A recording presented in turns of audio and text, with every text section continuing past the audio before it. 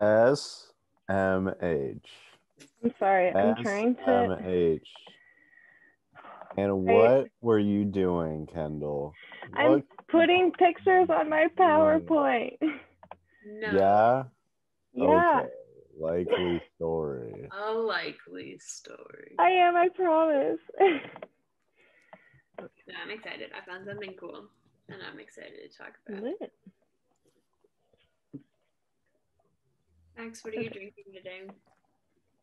Uh, I'm drinking orange juice out of my Dodgers souvenir cup. Wow. Yeah. I have two of them at my desk right now. Big Whoa. Yeah. Claire, your hair looks good. Did you get a Thank haircut? you. Did you get a haircut? I I did. Um, yeah. I think last week my hair was cut. Oh, nice. I think, yeah, but it is. It's shorter. I'm much happier with it. It was my first haircut since probably last winter. Um, Whoa. Whoa. It's exciting. Many Well, moons actually. I, it was my first professional haircut since last winter. My mom had cut my hair, and some peers had cut my hair for Hmm. Some peers, huh? peers. Um, yes. Mm. I need a haircut. Mm. I'm jealous. Yeah, you're you're getting a little blinded by your bangs. I am. I'm very blinded by my blanks. My blanks. My the blanks. Yes. Playing. Do you guys know the word bruh? Uh, Originated and oh. I thought you were just saying, did we know no. it? And I was like, No, yeah. Yeah, no. the word bruh, Thank you. no, I'm trying to find the origin of it. It's like early they say twentieth. bruv in England? It did. Yeah, I think it's like an early twentieth century thing. To say bruh. Well, not to say it as we do today, but I think that was the first use. Um, That would be funny. Yes. but And then it doesn't, they don't even fit on my glasses. I want to, okay. Faster. I could put a hat on like a weirdo inside. yeah, Yeah. it's not worth it. I, like a weirdo. I'm already so warm though. I'm not doing that. Um, it's really warm here today. We, there's no AC here and I can't have the fan on while we're recording, so I'm just gonna sweat. Your hoodie. You're ready? So- Yeah. Yeah. Savage. And I'm in a hoodie. Well, I just didn't have time to change. it's fine. editing your Google a big day.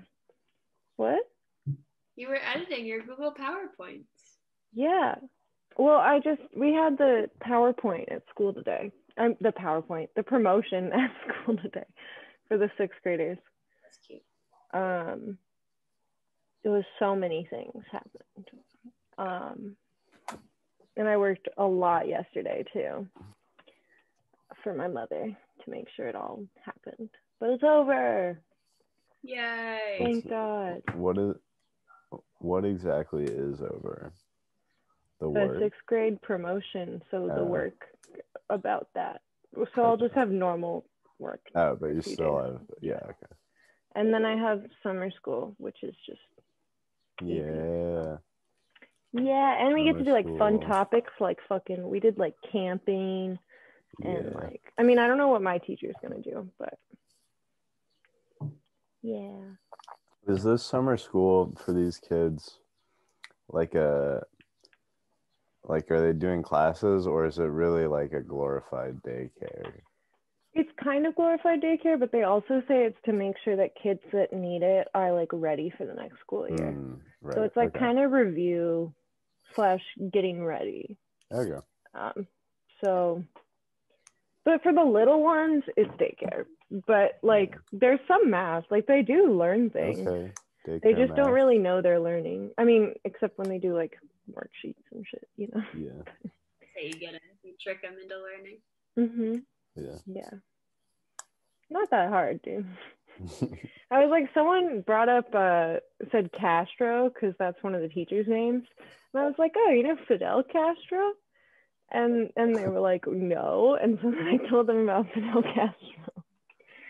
You should So- tell them about all Castro related topics. I didn't tell them a lot. they were second graders. He was the sick guy. I think you should train your second graders to be communists. Yeah. I was like, I feel like this is too political, and then I regretted saying anything about Castro. You should be like Castro was like because I don't want to get in trouble with parents yeah. yeah. for turning their kids into commies. So yeah, Could be kind of lit though. yeah. Max, you went to San Francisco, didn't you? I did. How was it? It's pretty good. Um, you know, we did some things. Went to a bar mitzvah. How was it? It's pretty lit. Oh, shit, it's Katie Lee. Hello, It's Katie Lee. Hello. It's Katie Lee.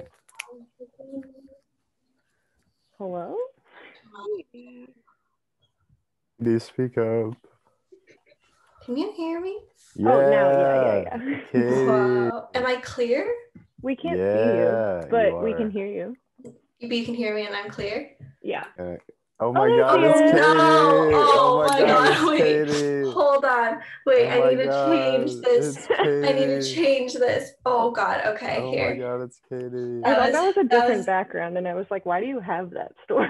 and I was like, it's her wall. Katie Lee? Yeah. How are you? I haven't seen Katie you in a long time. guys, I haven't seen you guys in forever. Oh my god. Welcome to our new podcast. Okay, can I just say how much I love it? Aw.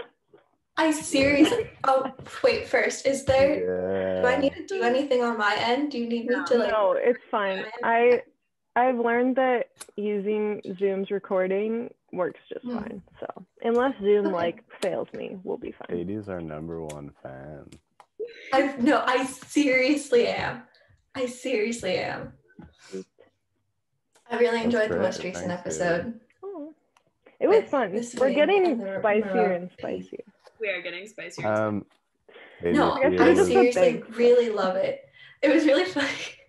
Sinclair's last week said something about like um like described looking at the altarpiece as like unboxing, and I was like, that'd be funny if people did altarpiece unboxing videos. I wish. Oh, and then Kendall, you just like was like, oh, the Fragonard, Bob Ross. Well. I just I don't know why. I was just looking at the trees and I was like, but no, they totally why does do this look, look like, like Bob, Bob Ross. Ross? Yeah. But then I was like, the whole time after that, I just couldn't stop it because I saw something on Instagram that Mhm. Bob Ross's divorce was caused by him like, I didn't know he got like divorced. playing around with the ladies and stuff. And I was like, what if Bob Ross taught people how to make like really sexy affair paintings? Like that would be crazy. Wait, this is a And great really fun. update to that comment. That's so interesting. I had no idea. I informed my mother recently that he collected squirrels. She didn't know that. Squirrels? Yeah. collects them. Well, I mean, Like, they alive? didn't collect. collects No, they were alive. They were alive. He would like nurse them to health. Like he'd find baby squirrels in the wild, and then he would nurse them back to health, and then release them. That's It what was I like Nice. most wholesome thing. So, yeah, She's Yeah, not an true. insider. I think he had Katie, birds. how's too. Korea? Yeah. It's lovely. Are you I'll be ever back. coming back? Yes, I'll be back in August Oh um, for God. school because school's back in session. Katie, Oh, I'm going going back to. USC. Um, are you guys done with school? yeah. For the semester. Yeah. Cool. Yes. are Are you guys going back in person in the fall? Yeah. Okay. Cool. Yeah. The world is healing slowly but surely. it's weird. Do you guys have any fun summer plans? I want to go to Disneyland soon with JR. Hmm. I think. No travel plans or anything. No. That's I'm still kind of nervous to get on a plane, honestly. yeah. Yeah. It was it was thinking about um traveling that actually it was like reminiscing and missing traveling that made me choose the piece that I plan to talk about Fun. for this. So yeah, Nice. the Let's last trip. hmm hmm Do you want to get into it then? You can just start. Sure.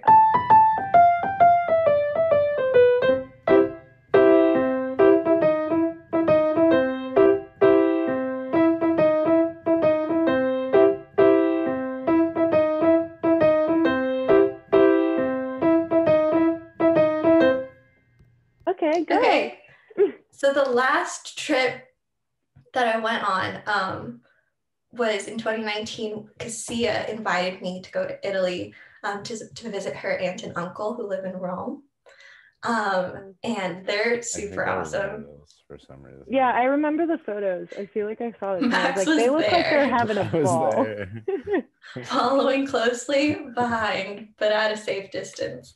Mhm. Um, and we got to um, briefly go to Venice for like a couple days, just for fun, just the two of us without her aunt and uncle.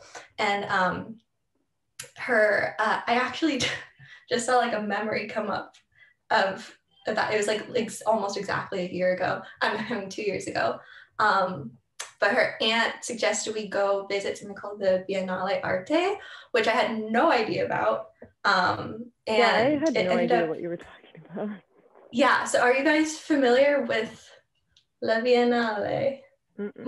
No. Okay. Um. So, it was founded in 1895. So it's an old exhibition that's been going on. It founded in Venice. Um, and its like original sole purpose was to um, highlight modern art. And like they didn't necessarily want to have um, the artists or the work have like geographical or cultural ties necessarily. It was to showcase like the work itself um, and it was just like a way for artists to be appreciated without being like have it be pieces that were commissioned or like pieces of propaganda artwork and stuff like that. And t- so it was just um, primarily paint paintings. Um, and then in 1930, they added on um, a music festival for contemporary music. And then in 1932, they founded the Venice International Film Festival, which is still alive and well. All of this is still alive and well. Wow. Um, but it was the very first film festival in history, which is really cool. Um, and then in 1934, they added theater. In 1980, they added architecture. And then in um, 99, they added modern dance, contemporary dance. Um, so the Biennale is just this kind of like full on, all encompassing art exhibit. Um, don't they have? Foundation.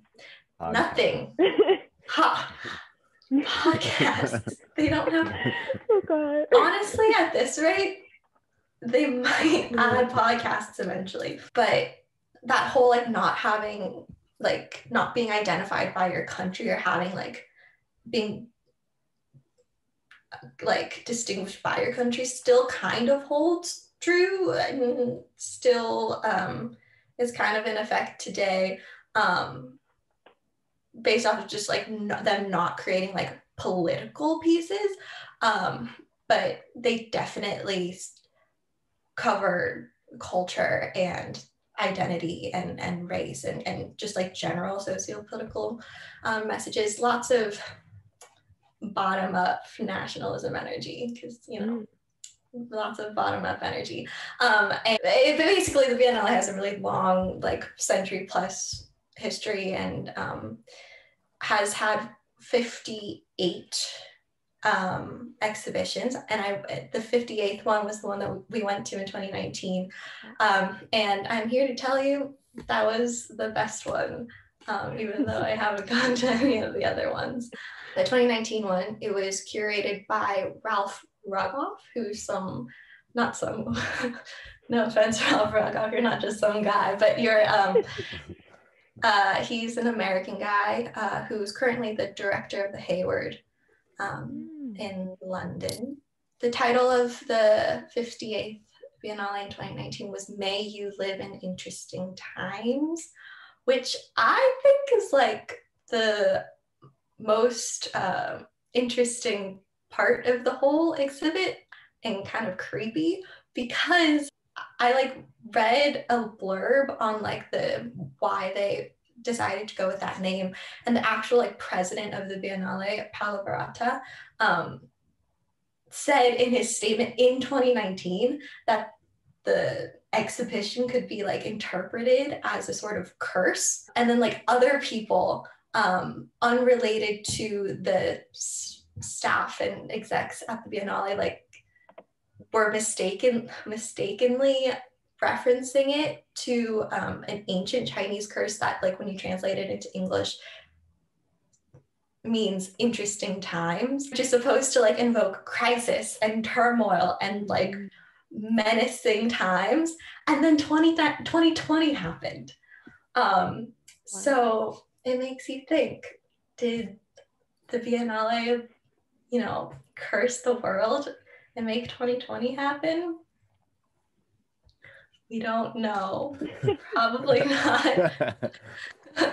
But it's he said like it was an invitation to um, consider humans and their complexity and for um, the visitors to and, and the artists themselves. Like th- so these are themes for the for the artists.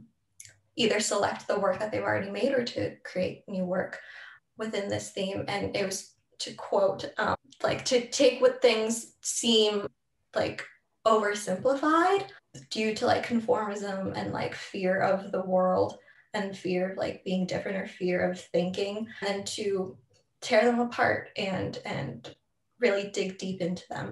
So those were like the overarching themes and they were challenged to like extract the very few few strands um, of complexity from an otherwise very apprehensive sheep herd world that we live in. Um, and then through that challenge back to their viewers, made us try to extract the complexity from their artwork, which, like on the surface, looks really simple because contemporary art, you know, you see a canvas with just green paint and you're supposed to extract meaning from that or not. Sometimes contemporary art is not meant to take a lot of things out of it. There were so many different pieces that were really interesting, but for some reason, I don't know why, because I'm not like a video art person or anything, but I was really drawn to all the video art pieces, which is not paint on canvas. It's just a bunch of not even tape, and they're also long, and that's not fun to watch. But um, I encourage you guys to go look through their archives and and check out all the video art pieces. There was like pieces by Ed Atkins, who's this really cool guy. But anyway, um, the piece I chose is one that Sia and I literally saw from a distance, and then there were like a lot of people around it. But we were like, eh, that doesn't look interesting, and we walked away which I feel a little bad about.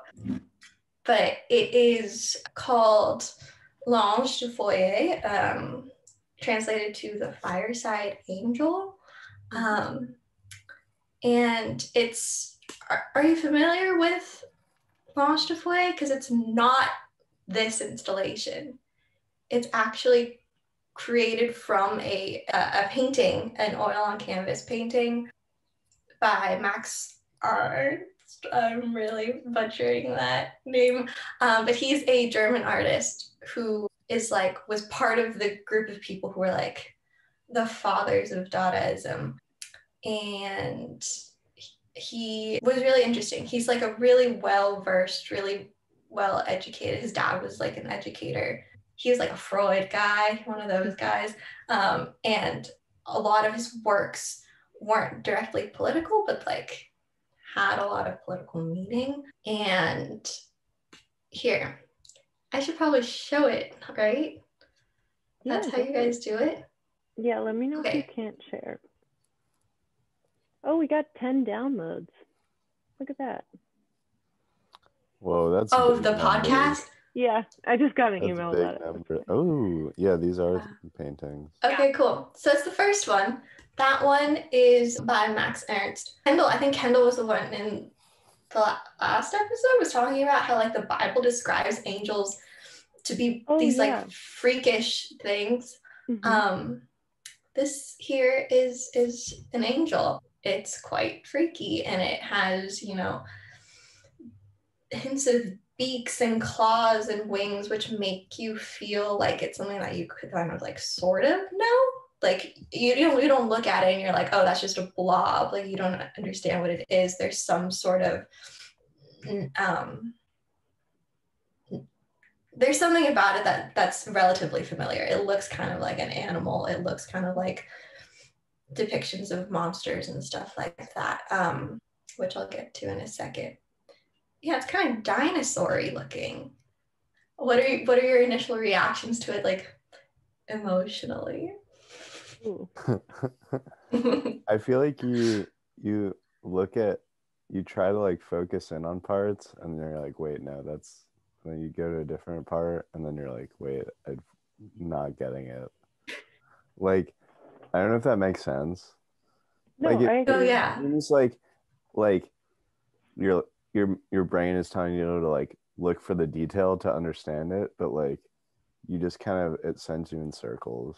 When I first saw it at the Biennale, it I'll talk about I'll talk about that in a second. But Okay. even the actual installation, it was kind of freaky looking. And then when I looked at this painting, it like is scary. Um, but it's like kind of the expression's kind of meant to be like joyous. and like it's kind of supposed to be like an expression of like being alive. Yeah, And kinda it like- yeah I was just gonna say, I he looks like he's dancing a little bit. Yeah. So it's just really twisted, just like unsettling kind of thing going on. Um, and he, it was actually surprise, like a political response. So he, um, he made it um, in response to the Spanish Civil War, just to like reflect the chaos going on in Europe and stuff like that. And it was a critique on all the people who he said were labeling or like naming monsters as angels. And you- so, Yeah. Mhm. Sorry to interrupt you, but could you like describe it so the people that are just listening know what we're looking at? Because I really yeah, like it. Probably So- is very confusing. but yes. um, it's like this vast open field, lots of sky with this like leaping, sort of flying, sort of jumping, sort of dancing creature that's supposed to be a depiction of an angel, but it actually looks like a freaky monster with it looks like it's supposed to have four limbs, kind of human like. There aren't necessarily wings. And what looks kind of like clothes also kind of look like fleshy, exposed bits of like muscle tissue that's tattered and, and flapping away in the wind. Um, and then also, it like kind of looks like it's wearing shoes. It kind of looks like it has claws. It kind of looks like it has this kind of um, leech giant monster also attached to it. And it looks like it could be singing and happy, but it also looks like it's kind of an excruciating pain. So it's just this really contradictory, upsetting, but also like kind of soothing because everything about it is like physically very smooth, even though like there's a lot of sharp points, everything just feels like it's soft, which is interesting. Mhm. Yeah. I'm not an art historian. I don't know how to I've never taken like No, a proper so art history class. Um I thought that was a great description. But also, I I do want to note there's like also a large like flower thing at the crotch area that maybe looks like a vagina or something. Yeah. Yeah. I didn't notice that. I didn't I know I didn't like associate it to be We're all about that here. oh yeah. notice everything has some sort of sexual tie. Well, and that feels like the focal point to me. Like that's And what I feel like is the brightest. on canvas, on That's page. that's true. And the creature's like looking down at their Mhm. crotch. yeah. Which also draws you to it. Yeah. yeah. I guess if you're Yeah. saying this is like meant to be about like vitality, that could make sense. Mm-hmm.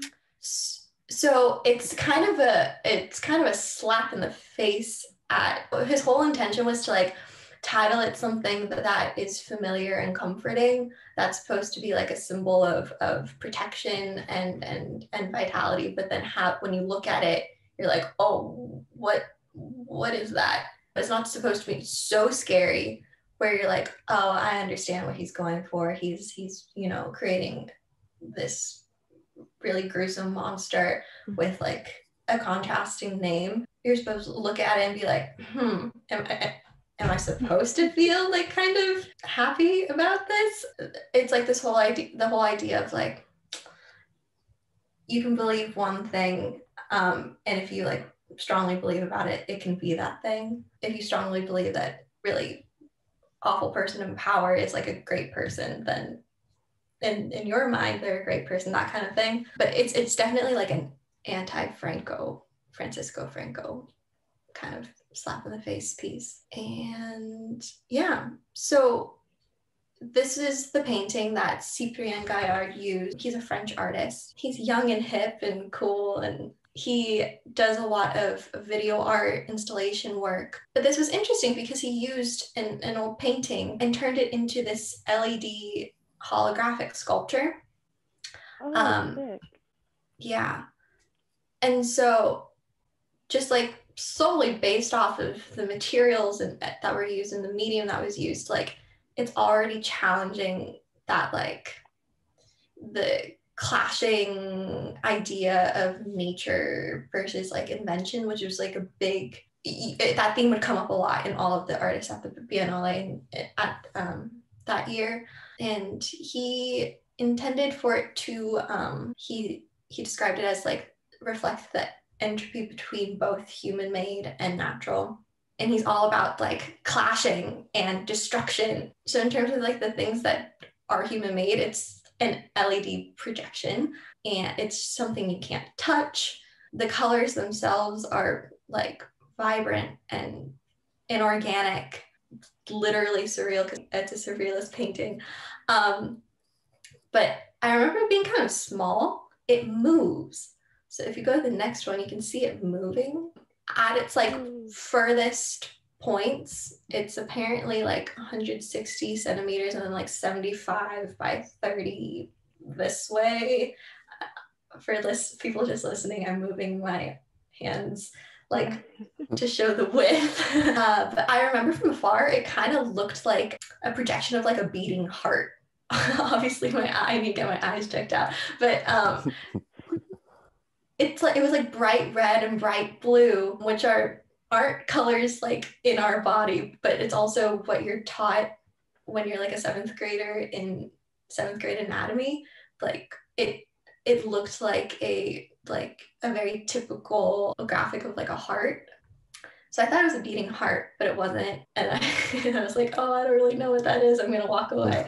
But even though they're like they're not like natural colors there was something that made me think oh it's it's related to something natural. And i think it has a lot to do with the fact that it's a moving sculpture. It looked alive. It looks like it should be like morphing from one thing to another. It, and and like it's kind of like being attacked and then resurrecting right back where it started like right back to suffering and like being engulfed by the wind. The the biennale described his work as like the visual archaeology of decay so like this whole concept of destruction and then reconstruction is exactly what he's going for. And then the fact that he's like the creature comes right back to be to like this kind of suffering state is meant to be a critique on the concept of progress. Cyprien gaillard's like really anti the idea of progress. He doesn't like fully agree that the common like definition of progress is real basically like that the world is so flawed and cyclical that there's no way to move forward. You're just in a constant cycle. And then he's like, the only way to break out of this cycle and the only way to make true progress is to just like completely start fresh, just like utter destruction um, of mankind in the world. Um, and only then will we be making progress. So, really dark. He makes really dark but thoughtful things. It was it, this was part of a three part installation and the other ones were, were more video art like pieces and it was inspired by plato's allegory of the cave if you guys are familiar with that um, it's this idea that like prisoners are trapped inside a cave and then on the wall they see like figures moving and they're like hooray like people are here to save us um, but then the one prisoner that like breaks loose goes and finds out to see that the the figures moving on the wall were just like puppets um, created by shadows by like a fire. So he's like, oh, that's like the, the people, the help were not real. Um, and so he like escapes, goes out to the real world, and he's like, oh my gosh, the world outside is so much more real than the cave. But then because he was in the cave for so long, he's blinded by the light outside. And when he comes back to tell all of his friends friends, prisoners.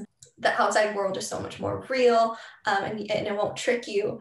The people inside the cave are like, you're lying, you're blind, the outside world's harmful, believing that life inside the cave is more real and, and, and better and more safe. So it makes sense why he chose this painting because going back to that whole idea of like belief versus knowledge, the whole like monsters naming like believing monsters are angels. He touches on like the shadows, fire, and, and light, which are, are like the three points of knowledge in Plato's theory.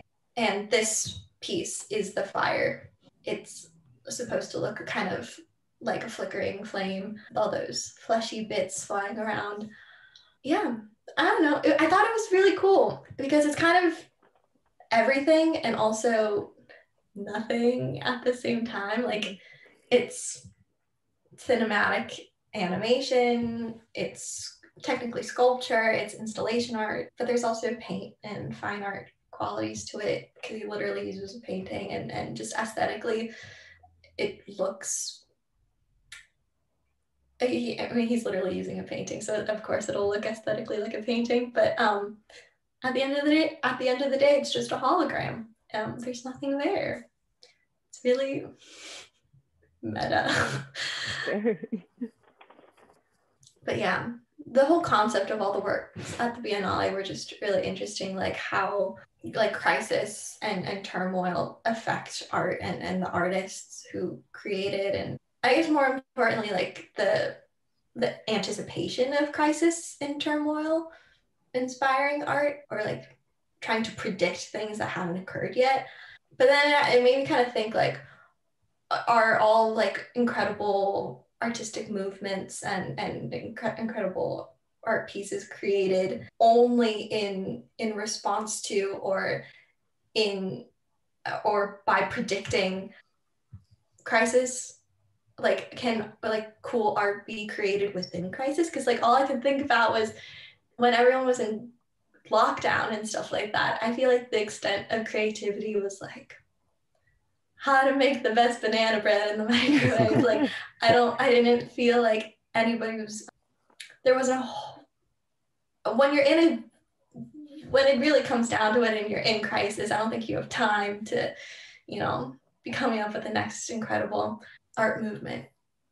But you know, someone can someone should prove me wrong. Or maybe I haven't I haven't looked into it quite yet um, enough yet. But I feel like that's just kind of the pattern in in like for surrealism and then like I feel like impressionism is like every teacher's favorite example of like going against something, like going a, responding to something like going against academia or going like reinventing rules but that's because they have rules to work off of like what kinds of things will be made can be made when all the rules and all the foundations just kind of swept up from under you. I don't know. It was just what I've that's what I've been thinking about lately. But yeah, It was very well said, Katie. Yeah, agreed. thank you. L'ange de foyer. Um, yeah, Katie. that was great. Yeah. It's That's just so fun. wild. Yeah. It's a really cool piece. Mhm. I wish I appreciated it more when I was there in person. Yeah. You get to watch it over and over again like this. Yeah. I'm sorry, Supreme Kayard. I I underestimated you. I saw your work and I was like, stupid. I walked right, right away. Well, I don't know. Maybe that's supposed to be a thing too. Who knows? Everything means something, right? It, everything means something. Mm-hmm. Unless it doesn't. Yeah. It's crazy. Yeah. That was so cool. I have I'm just like stunned. I'm like What kinds of did you guys Kendal, you were mentioning that you're gonna choose. Oh, that's another thing, listeners. Yeah. These three fool you. I th- when they say that they're surprised by something, or or they're just coming up with something off the cuff on a whim, they're being very real. Because I try to share all my notes and all my my plans with them beforehand, and Kendal was like, "No." yeah, No, I don't. I told Kendal who I was researching because I didn't Mhm. want to overlap with her. Yeah. But usually I don't even know what she's gonna do. No, I didn't know who you were doing. I didn't know the name. So yeah, yeah that's as far as we go. It's like the name of Yeah. so It's more fun that way. yeah. And we I were think so. all learning from each other. Plus it's like, are we gonna do the whole thing twice? Like that's a lot of time. you know? That's true. So we keep it raw. Yeah, no. No rehearsal. We hang out once I a week. applaud you guys. So much respect. Aw. I want to also maybe at the end or something you can tell us what like movie things you're doing. Yeah, I'm curious. But yeah. And, I'll update on that. yeah, I saw your like storyboard posts on Instagram. I was like, ooh. Oh yeah, that was that was I've we I've decided that I need to be more professional just in life. Um and that so many opportunities come through social media now, Mm, um, which I was like super against. That I've look at me, sheep person. yeah. Um you kind of have to be. I'm I decided I'm I'm gonna make my Instagram kind of the portfolio. hmm That's old. That's a storyboard from my junior thesis fil- film. That Oh, okay. was a disaster. Oh, That's Oh. okay. why? Um, I had to do it completely alone. Like, li- like uh, when I say alone, I I literally mean alone. Um, and there's no actors in it. It's five puppets, marionette puppets. Oh, that sounds very different. Oh, I remember you posting lots of puppets, and I was like, Yeah. oh. And so maneuvering five puppets at the same time and a camera and lights, just physically not possible. Um, so toes um, and elbow pits were used quite a bit in the in the making of the film. Oh my god. Teeth. Wait. It was it was a, a very um, Wow. physical. I want to rewatch it now. Like knowing that. I haven't shared the full thing anywhere oh, 'cause okay. I I, don't was want like, anybody to see it. oh, I want to see it though. Now I'm like, I want to see Katie maneuver marionettes with her behind elbows. Honestly, Yeah. behind the scenes would have been more interesting. It was sad. My mom walked into the room and she was like, this is so sad. And she like appreciate. the thing is, it's at, at one point my mom was holding like everything on one side of the room and I was like holding up everything on the other side. Um, but it's hard. It was hard. But it's over.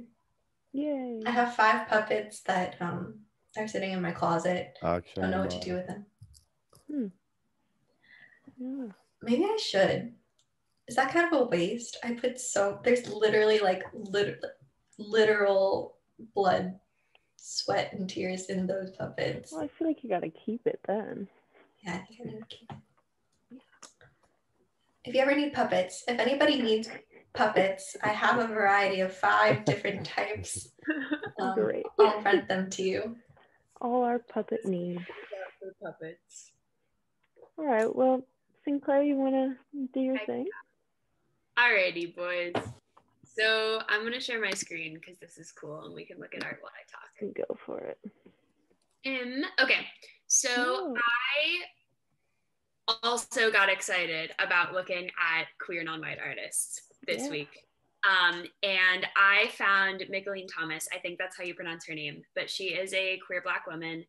She is American. She was born in 1971 in New Jersey. So she's my parents' age. I don't know how old your parents are, but she's my parents and um, she does a lot of work um, in this sort of like painting collage mixed media style um, this is the work of hers i've chosen and it's like uh, based on a photograph but it's paint and it's a couple different kinds of paint and it's got like rhinestones so sort of like large scale mixed media collage type works I think pretty much all of her works, the subjects are Black women. And so she's really focused on themes of like Black femininity and sexuality. And uh, some of her works are of Black female celebrities. So she had, she actually made the first individual portrait of Michelle Obama, which is Oh, down here. And it's in the National Portrait Gallery, which is kind of cool. She also has some fun, like, like a lot of her style is sort of playing off of art history works and sort of the art historical canon and looking at like depictions of women and sort of inserting black women into those like feminine roles and feminine like dignity and femininity and sort of playing on tropes of femininity in the canon and sort of subverting that or sort of putting black women into that narrative. And also sort of playing with concepts like the male gaze um, with her as a very different gaze as a queer black woman and sort of using her black female subjects and their ability to take up space in her work and have agency and feel very powerful in these like feminine sexual roles also. So that's super cool. And so the painting i chose is this one. Kendal will you say it in french? Uh, le déjeuner sur l'herbe. Oh, that's the other picnic one where there's the naked people. Yeah. um yeah Oh, this- and uh, les trois femmes noires. Yeah. So this is like the luncheon on the grass, the three black women. Um, and this is from 2010. And this is like the final stage of a three stage work. So it's based on this photograph, which she took of three of her friends. Um, and this is in the sculpture garden at MoMA. Um, so Mm. back here, there's a Matisse sculpture that is like actually in the site. And it's, I'll show you the sculpture. This is the Matisse sculpture that is behind them, if anyone was wondering it's over there. And so this is kind of cool because it was she was commissioned to create this large scale work to be housed at MoMA. I think it started in like their restaurant at MoMA, so it was sort of visible from the street and also in the restaurant and got like a lot of viewership and was very public. And so she created this work as sort of a site specific piece by creating the photograph in the sculpture garden at the place where it would then be seen Also Uh, very meta. yeah which is kind of cool and so she was very like aware of the museum space as setting which is also sort of important of like putting powerful large black women into this space this final product is huge What museum did you say again? moma Oh, okay. Cool. And so like the this thing is 10 feet by 24 feet long huge it's like a big giant wall and so like these black women are larger than life they like literally take up space in the room and they're sort of like staring you down, sizing you up. They're dressed in these like really vivid, cool prints that she actually designed the clothes herself. And like throughout her career, fashion is like a big inspiration for her. She draws a lot of themes from her works and like designs. And there's a lot of sort of, if you look up just like generally her work, there's a lot of sort of things that look like textiles and cool prints and lots of that in her like more collage type works. Um, so you have all these prints, you have these women with their natural hair and like really bold, vivid makeup. All sort of as symbols of femininity, but also like of their power and assertiveness. And like these women are not shy. They're not hiding away from the the viewer's gaze they're looking right back at you and so that's sort of like a, a symbol of this like black feminine power in her works and yeah so this painting and then the, the middle stage of this is this sort of like mm-hmm. photograph collage which is in mm-hmm. um like moma has i guess like kind of installation galleries um and this is this is also really big and it's in one of those at MoMA. So sort of like that through line of this being a site specific work in a mm-hmm. way. Yeah, so this painting is a reference to this Manet from 1863 of the same name. And this painting, so we have two clothed men and two originally nude women. I think this one in the back was sort of like drawn on in clothes, but they were both nude, I think, at at the time of painting. And this at the time was like really controversial because this is not a thing people were doing. And it feels kind of like weird and awkward and promiscuous and like what's going on here. And especially that this woman is looking directly at the viewer was seen as like like there was a lot of chatter about this um, mm-hmm. and people were very unhappy with it because she was seen as sort of like too promiscuous like why is she looking at me i feel really uncomfortable stop mm-hmm. that sort of thing and so Thomas is clearly like playing on this in her work of like this the Manet being sort of indicative of the male gaze of looking at this like nude woman, but also of her looking back and that sort of causing a stir. And then in her work, if I can go back, it's not letting me go back. That's fine. Whatever. Come back um, these women sort of looking back at you and sizing you up in a very different way since they're looking at a friend, they're looking at a fellow Black woman, but also like they have power over you as the viewer because of their like sheer size in the room, sort of turns that the image of the Manet on its head, which I think is cool. And there's a lot, of, she does a lot of this in her work, sort of turning art history, canonical works like on their heads, subverting them using like classical poses or sort of things that would be recognizable from the canon and putting Black women in those narratives, changing those narratives, sort of changing narratives of oppression to become like symbols of Black femininity and Black power, which is kind of cool within our, our context of talking about our history. And yeah, so that she like copies this composition. This back woman um, is sort of replaced by the Matisse sculpture, which I read an interview with her, and it seems like this is this composition sort of happened naturally in the space. And I also read that she often like references Matisse and other artists in her work, so it's like not an exception that this Matisse like takes up space in this work so I don't know. I thought she was super cool. Lots of like reclaiming agency for Black women, reclaiming femininity for Black women, and sort of playing off the art historical canon um, to do that, and to do that in like fancy high end museum spaces um, where Black women traditionally do not take up space, both as artists and as subjects. So yeah, that's what I did um, on Mickalene Thomas, and I think she's super cool. So there you I have some thoughts Yes. Um, I that's so cool. Also, um, this is weirdly has so many parallels to mine, which is very fitting.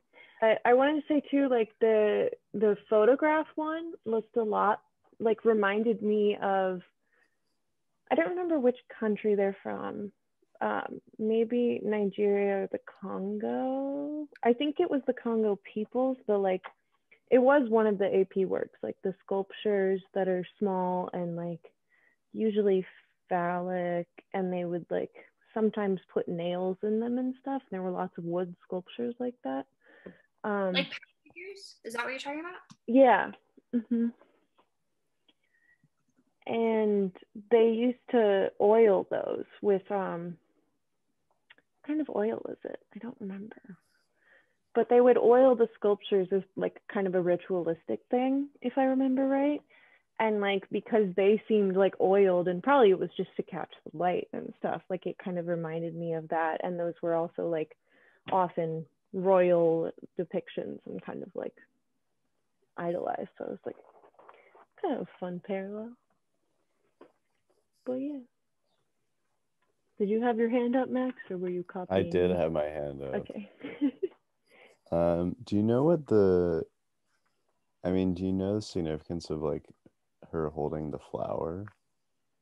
I don't. Um, it's possible that it's like a like a femininity thing. oh, it's an end up portrait. That's what they're called. And it's Nkisi Nkondi. And it is the Congo people's. What? Okay. Sorry. That's what I was thinking. Yeah, I'm not sure because I guess I mean this is like part of the composition, Right. Oh, but my my best just went on by itself. flowers are like a like a tie to feminine. Right, right. Okay. Also was so was the phase like the first phase that was in the restaurant, right? Um, I'm not sure. Or was it the third like part 3? I think it might be this one. Okay. I kind of Um, like the camera one better. Like Personally. created based on the photograph. Yeah. They're all wonder how really many cool. time, how many pictures? Yeah, they are all really cool. Yeah. What were you gonna say? I just wonder how many pictures they took that day to choose that one. yeah. Well, because that one seems like perfect, and the way they Yeah. talk about it, it sounds like they stumbled upon this like perfect composition. I'm like, really?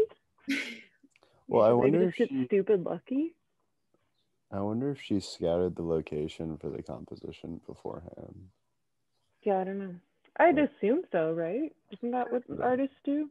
So cool. And I think I was trying to think of Le Déjeuner sur l'herbe, the Manet one, the other day, and I couldn't remember the name. So it made me happy I know were, we're also talking about Manet's Olympia with with That's women. yeah, yeah, yeah, yeah. Well, because also he's like playing with gazes, and I almost, I didn't want to be distracting, but I almost started like drawing their gazes because I can do it. Can you see it? yeah, I can. This is creepy, actually. This is a lot creepier than that. But he goes this way, and then she's like over here. It looks kind of spooky, but I don't know. It's interesting because that none of the other people are looking, and like, I guess I feel like maybe the clothed lady should be looking straight at us, but she's not, you know, because like mm-hmm. I don't Wait, know. It's do like you- there's four, you but it doesn't match. Go to annotate in view options. I don't know if it's a host thing. It might be. Special host privileges. Yeah. Kendal's shooting lasers. I would argue. I would I can make you all co-hosts. I would argue this rather than What? this. I think this. Oh yeah, you can do it. Oh, okay. That's that's my hot take. That's really morbid. That that looks Yeah, like the red is laser eyes? scarier. Blood. Here, hold on. Pouring out of her eyes. I think Um, it is a really interesting change to go from this painting where it's just one gaze, hmm where it's like kind of like everything Three. is normal, but this one thing, to Yeah. um, the gaze that's just like directly challenging you. hmm Yeah. Is the Matisse sculpture of a male back? I think yes. That's also interesting. An Yeah. exposed booty in the back. hmm Um, to This is replace my the gaze. well, and replacing the clothed woman. Oh my god. Max just drew two lines to the butt for those listening. Yes. Pew, pew, pew. oh my god. I'm maybe I Me. shouldn't have told Max how to draw. That's me. Anyone not watching the YouTube video should just watch the YouTube video. No, Um. just ignore what just happened. Yeah. yep. Wow. What I have? Shaping up to be That was such a rad episode, y'all. Oh heck yeah. I'm so excited to Don't edit this and too watch it all over again. Um, Okay. No, I actually do genuinely enjoy like rewatching us because I tend to black out when I like present things because I get nervous and then like I thought you meant blackout while you watch. I'm like, hell yeah, I'm just drunk just like you don't know. while Yeah. you watch the episode. No, I I've was been like, I hope drunk. not while you're editing. I've been drunk in front of you enough for Says you to me, know. who does no, who offers no work to the show. yeah, you if anyone should be the drunk one, Max. Get it together. Maybe I should. Yeah. Yeah. I rewatch them because I I've been rewatching them on double speed to find all the Mm. photos Oh yeah. to post them on the Instagram, and they're actually good. Yeah, I know. I'm always surprised. I'm like, wow, were we funny? That's cool. And then, um, no, it's cool. I'm like, it makes me happy. Yeah. No, as a viewer, I can say, and listener, I I really thoroughly enjoy them. Yay! So glad, Katie. That's so good to hear.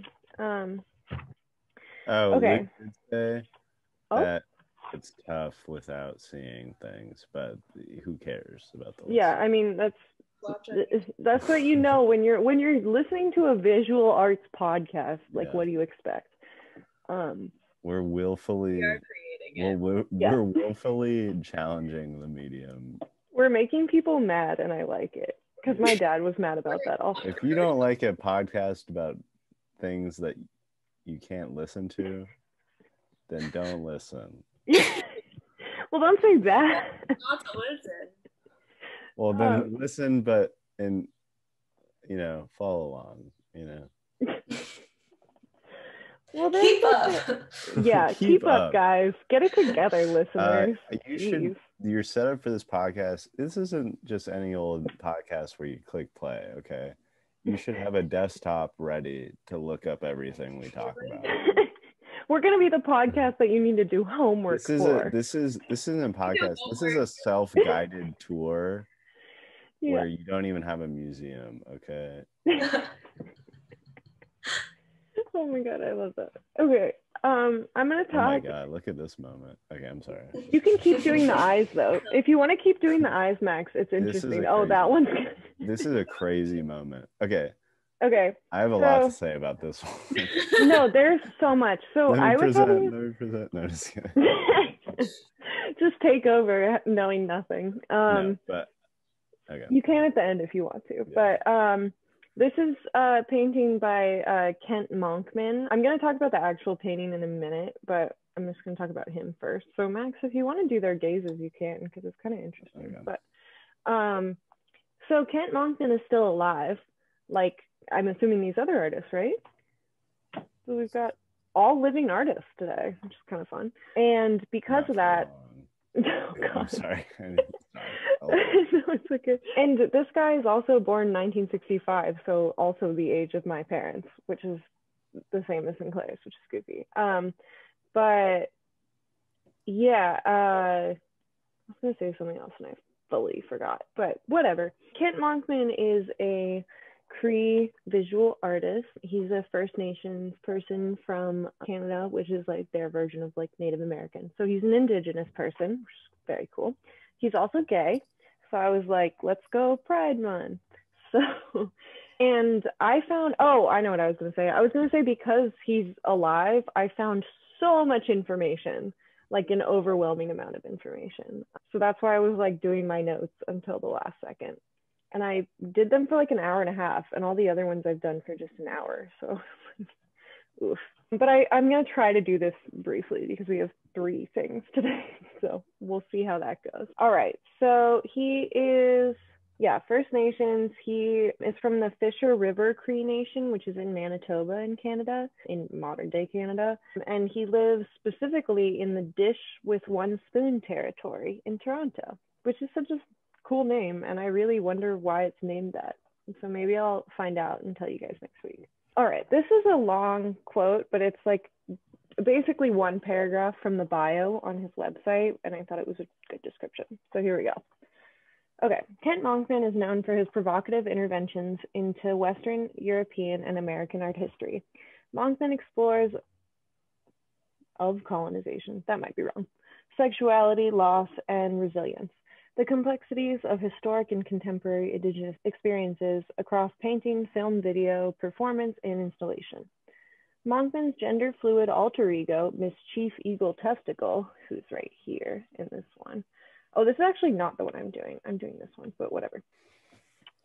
So Miss Chief Eagle Testickle is the name. And it's not spelled like testicle, like the organ. It's like test tickle. So like like tickle. so that's fun.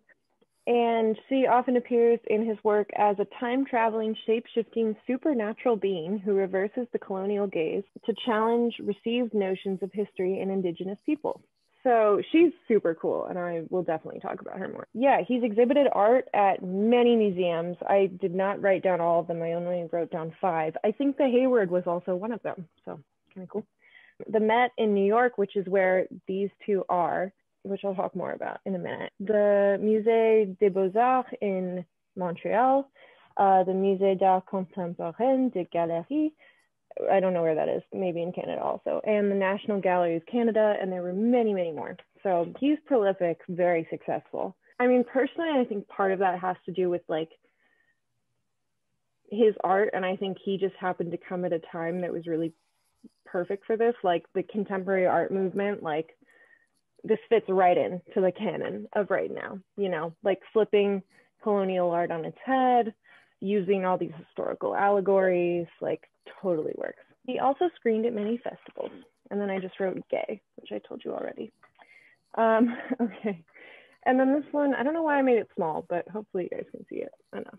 This is the resurgence of the people. So these two paintings are in the Met's, I should have done a floor plan. Maybe I'll, or whatever. It's fine. In the Met, there's like a big lobby and it's kind of rectangular in shape. And then on the closest sides to the entrance, there's two huge walls, and that's where these are.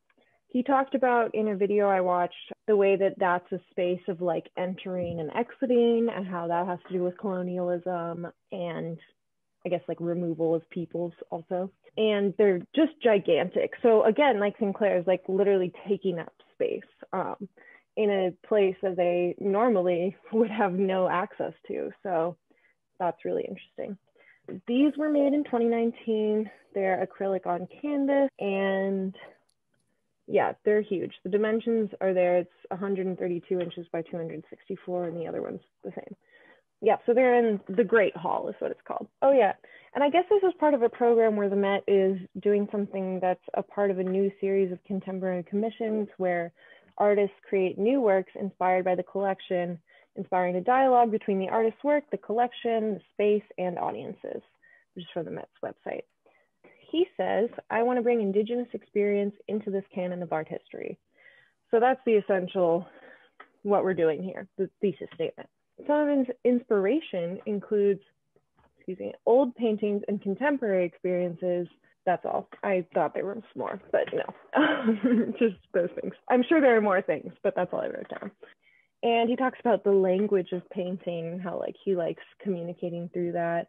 He also has assistants and a workshop, which we've talked about in the other episodes too. But the way that his works, and I, I don't know a whole lot about those other artists' workshops because they're all dead. I guess Warhol, there's probably information, but I don't know about it. But he has a really interesting process in which he also photographs models first, which also the photos are really cool too. And I should have included them, but it's fine.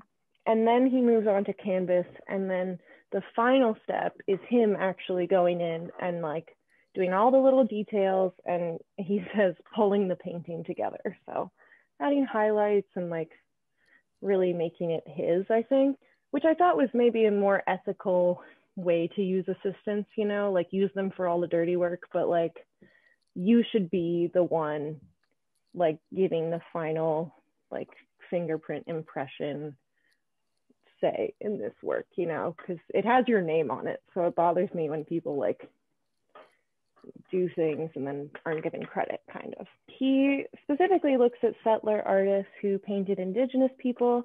There's lots of history paintings in which Native people are depicted, I mean, completely from the colonial perspective. So that view is obviously warped. So he's flipping that on its head. He's refuting themes of disappearance. So a lot of those paintings portray Native Americans as the vanishing race. Um, you see them dying or like being conquered and it's this whole message but it's like these people are still here like and that's what's so awesome about taking up so much space in a colonial building like the met yeah he also includes elements of camp which is um, big gay thing the met did a huge camp exhibit a while ago that was really cool i think that has a lot to do with miss chief eagle testickle so this one is the one i kind of focused on and it is a model of Watch. Oh, I should have censored that and I didn't. So that's going to be fun for me in editing. So this, the one I chose, the resurgence of the people, is that right? Or power? Yeah, resurgence of the people is modeled after Washington crossing the Delaware. This you have, um, let me just go back. You can see like the parallels in the composition, very similar. Also like Sinclaire's painting. Although in Monkman's, there's a whole island over here of um, like settler military guys right here. And I guess, I don't know. Oh, is that a cop? I think that might be a cop or like an ICE official. And they're all in modern clothing, um, which is also cool because it's like, I don't know, he could have chosen to put this all in like old, like period clothing, but he brought it all into the future kind of, which is I don't know. I guess that's what like the time traveling he's talking about. You have the big flag and there's all these people and and wooden boats is also interesting. Let me where did I write about that? Oh yeah. So the I guess the exhibition title is I'm gonna butcher this, so I'm sorry, but it's uh Mistikôsiwak Mistikôsiwak. Okay, something like that. Um which means the wooden boat people. And that is the Cree word for when the French arrived because they arrived in wooden boats. So you have the big wooden boat here. Um, he talked about how he tried to make it parallel, like, yeah, it looks a lot like a migrant vessel. That's what he said. Um, and so you have like people coming in with children also, which I think adds to that. And here, I mean, there's no kids. I think it's all white men um, and some horses. So um, and yeah, you have also like a black person like saving a white person, two black people saving white people from drowning over here, which is, I mean, you can read into that pretty easily what that's supposed to say. Yeah, okay. This one, also, he said that this was supposed to be like welcoming newcomers, which goes along with the venue too. And Miss Chief is like assisting here, which is like supposed to talk about generosity and that whole theme. And I think it's, I mean, very telling too, because it's like a people that have been beaten down but are still offering their hands to their oppressors, um, which says a lot. Oh yeah, and then oh, Miss Chief also is supposed to represent uh, the return to native languages and traditions, and so she's kind of like ushering in this wave of like returning indigenous practices, which is cool too. And that's all I have about that painting, I think. But Miss Chief Eagle Testickle is an artistic persona who was designed to reverse the gaze and look back at European settlers. Uh, he also said that Miss Chief allows him to bring humor to dark chapters. So, especially like this one with the Mountie, like there's definitely humor in it. I mean, Miss Eagle Testickle is smirking. So, at least she's laughing. And I guess I'll censor it, but essentially what we're looking at here is uh, Miss Eagle Testickle wearing a large native headdress and being, I guess, I don't know how to put this not bluntly, but being like sucked off by a Canadian Mountie in some high red, uh, what, pleather, patent leather boots. kinky boots boots. So it's kind of great, and she's glowing. So go, Miss Eagle Testickle. I wanted to find a photo. So Kent uh, Monkman also dresses up as Miss Eagle Testickle, Chief Eagle Testickle. So these are some of like the video performances, I'm assuming. But I think it's really cool that it's like he like physically also adopts this persona and also takes up a lot of space. Also, uh, Kent Monkman also identifies as Two Spirit, which I don't know the formal definition. What does it say? Uh, so Wikipedia says it's a modern pan-Indian umbrella term used by some indigenous North Americans to describe Native people in their community who, who fulfill a traditional third gender or gender variant ceremonial and social role in their cultures. So it's an accepted like queer identity or gender queer identity within Native communities. So that's also important. And you could definitely consider Miss Chief Eagle Testickle also Two Spirit, I would assume. Let's see. Oh, yeah. So some of the other references are history paintings, look a lot like this one. This is like, I, don't, I can't remember if this is considered a history painting, but um, this is by William Turner and it's a, a painting in which a slave ship goes down, basically, is uh, what's what's the word for when ships Sink. are not okay? Sink, yes. the ship sinks. okay. Oh, I literally wrote that when I searched it. Okay, good one, Kendal. Um, okay. Uh, yeah, so the ship is sinking, and there's what is that? Sorry. Oh, it's okay. I was like, that is such a creepy little song. Okay. What was it? It's it's our doorbell. Okay. It sounds our like laundry machine had a song like that. It does sound like um Yeah. It sings a it sings a little song. I love it. Okay. So yeah, you have like a sunset and the ship is sinking and it's kind of hard to make out the people, but there are little people drowning in the water also. So I think this painting is probably referencing that. There's another one that I can't remember right now that I can picture that's also a reference. But you have so this is welcoming the newcomers for those, those that are not looking at it. And there's a small uh do you call it? Like a dinghy, I guess. Thank you, Max. You put a star on it. It's a little like dinghy where um like a wooden ship, which also wooden boats, where so like four white men seem to be falling and reaching out for help and there's like a little shark fin circling around them there's a large island in the left foreground in which you have lots and lots of people um, and lots and lots of gazes some are nude some are clothed yeah and there's some people reaching for help uh, a black person in chains maybe a slave um, and a white i think conquistador because of his helmet. Lots of people trying to climb back onto the island. There's like a naked white woman who's staring directly at us, which is interesting. I guess nude because it's art. But um, yeah, and then three white men. One of them's being pulled up by a native woman. There's a baby. There's, I think, a pregnant woman maybe giving birth or has just given birth because she's next to this baby and holding her stomach.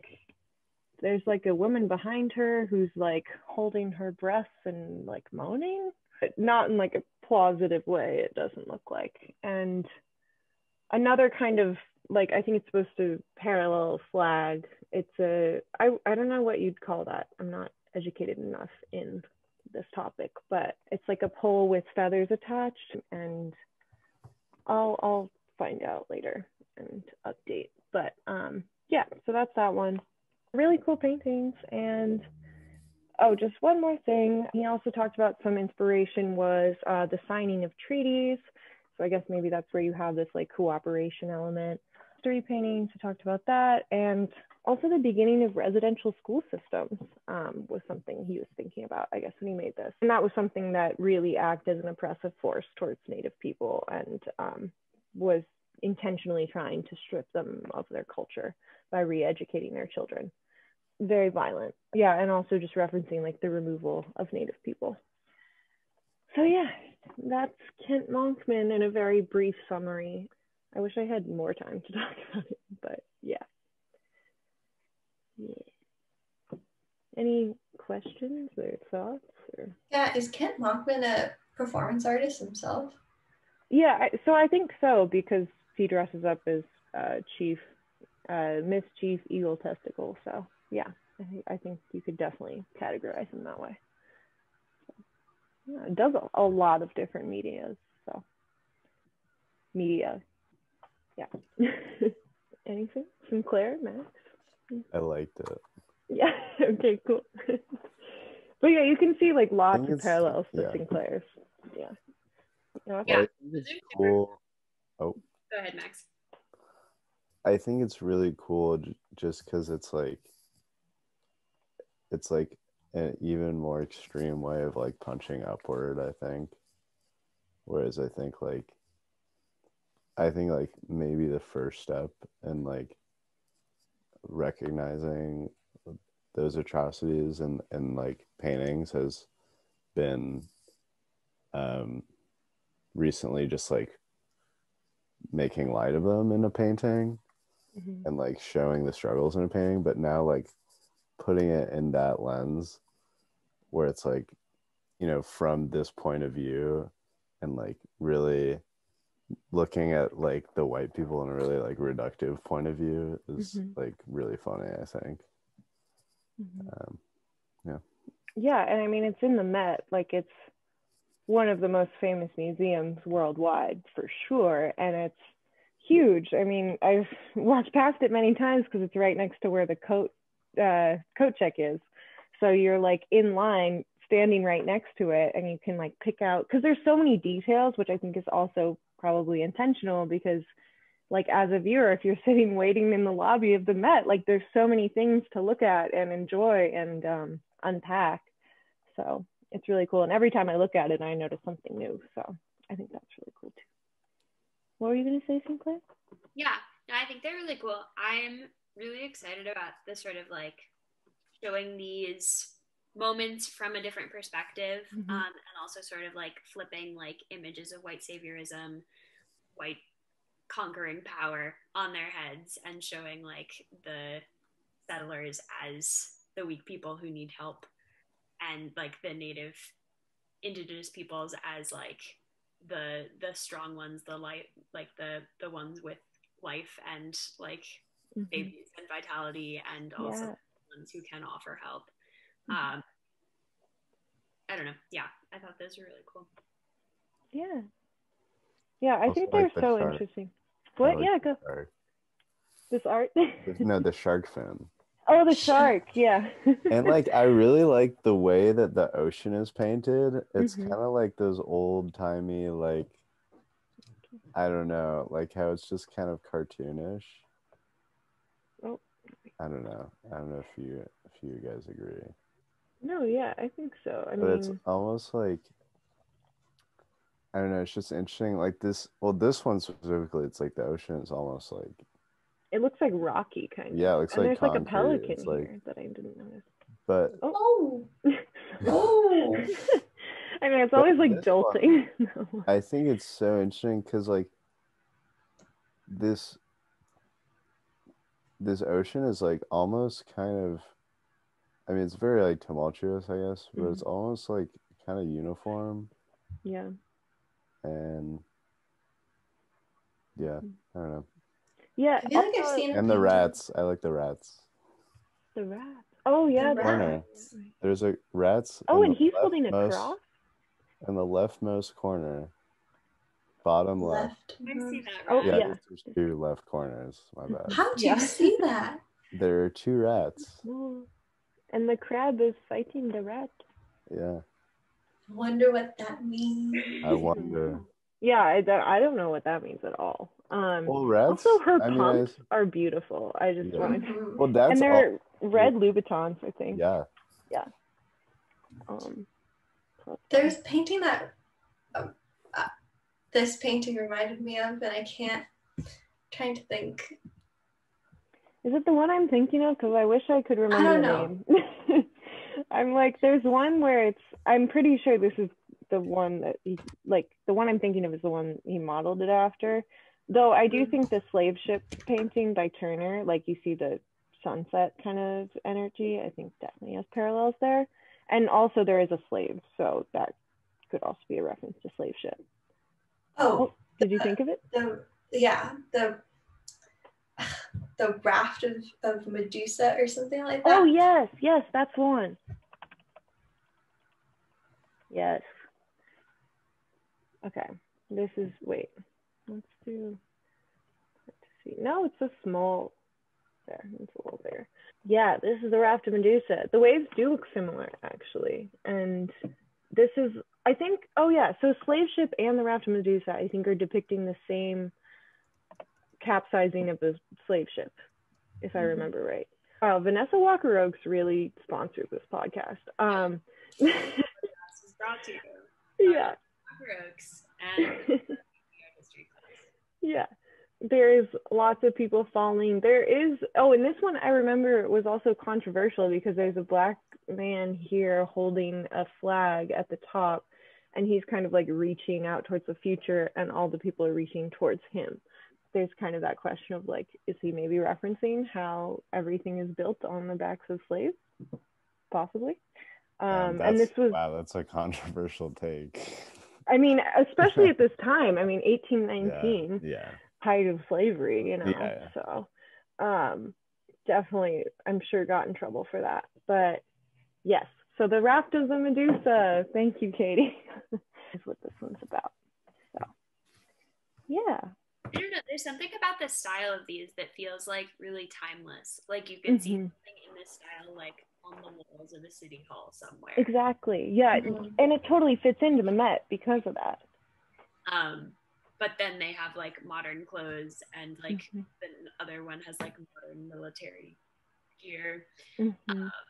Yeah, I don't know. It's kind of interesting. Like it, it catches you by surprise. Maybe like you could you could look at them and think that they were like created in 1900, and then you would have to like look at and be like, uh, uh that's not what's happening here. Yeah. Yeah, that's true. Like it definitely you need a second glance to be like, oh, this is definitely not that. Because if you walked past it, you might not notice because it fits into the style so well. Cool. um, do you want to say anything else about your art, Katie? Oh, sure. Um, I haven't gotten a really a chance to make a whole lot of film related um, things. Uh, I've been working a lot, so I've been working on sets, um, which has been really fun. Really, really fun, actually. Um, I've been writing a lot. Um, I recently finished my first feature script, Whoa. um, which is fun and exciting. Coming to um, theaters near you. hopefully i'm trying to figure out how like once you write it what do you do with it? I don't i that's like one thing they've left out of um education. You'd think um, they'd tell you that in the film you would- school. i know. You would think four years of film school i'd figure out what to do after i've written a script. Um but i don't. So i'm trying to sort of figure out what the best way to do that is um, if anyone has any ideas please let me know i'd love some advice um but yeah I- I, I definitely want to be making more short content once I get back. I'm What are you doing in Boston? I'm working at a summer camp, um, like a residential academic summer camp. So I'm I'll have a floor of fourth and fifth graders, but I'm also teaching some classes. And right now I'm Mm. doing like preseason organizational logistic work, Mm. Yeah. and then I move in Sounds fun. next weekend. Fourth and fifth graders, that that's a hard age group. Mhm. I'm excited. Our campus is fourth through seventh grade, and I chose to live with the younger ones because I think they'll respect me more. Yeah, Um, 'cause- smart. That's that's By fourth actually so smart. No, seriously, because by fourth grade, you, you kind of know a good amount of everything. Yeah, So like you're very aware. enough. Fifth graders are fight back. conscious. Yeah, Yeah. I've I've hung out with some fourth graders in my time, and I, I really enjoy them. They've got good questions because they Mhm. like they they observe the world. Mhm. They, yeah, That's really exciting. Well, I really have to pee, so Hmm. you should go take care of that. you wanna you wanna wrap it up? Um, but I want to talk to you more, Katie. But um, I know. We'll, we'll have, have you on again. personal. Well, I'd love to be on again. This was Yeah. so fun. You have no idea how excited I was um, when you asked. Um, but we'll also just have like a personal hangout call. Yeah. And you'll be home, so. Um, Uh, but so you should review this on Apple Podcasts. That would be super cool. Give her five stars. Download it. Download her. We love that. Download it. Um, and you can watch it on YouTube. How YouTube. did we how did we get on Apple Podcasts? How do we do that? Um, I used a thing called Buzzsprout. Um, Thank you so much for having me on. Yeah, thank you, Katie. Yay. Thank you for being our first yes, guest. oh, Max's toes. Oh. Um, Um, it was so fun. I would love to do it again if you're ever in need of a guest. we shall be. Okay. Bye. Bye. Enjoy your pee. Thank you. Bye. I miss you.